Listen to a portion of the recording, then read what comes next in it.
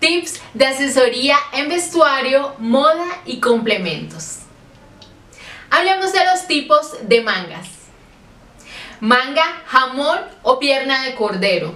Este tipo de manga es ideal para hombros estrechos o hombros caídos. Manga farol. Por su forma, este tipo de manga favorece mucho a los hombros estrechos y también favorece a los hombros caídos.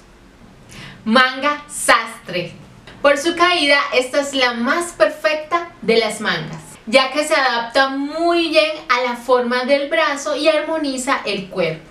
Si su puño es doble, su efecto óptico será el de acortar el brazo, por lo que debemos evitarlo en brazos demasiado cortos. Manga balón recogida en el puño.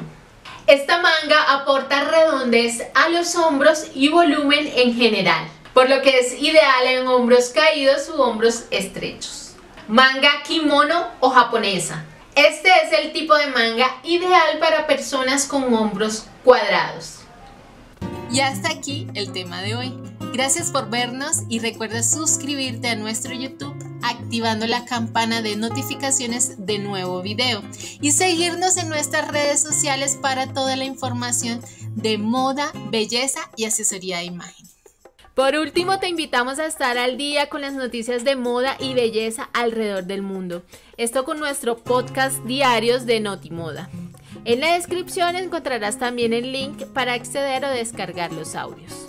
StylePoint.club, un punto de encuentro entre la moda y la belleza.